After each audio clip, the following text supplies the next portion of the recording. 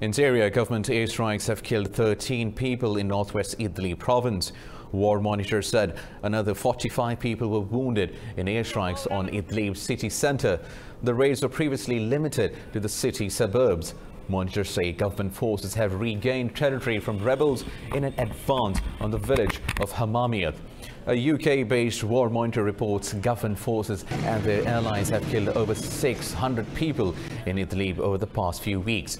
Meeting with Russian envoys in Damascus yesterday, Syrian President Bashar al-Assad discussed stabilizing the situation in the province.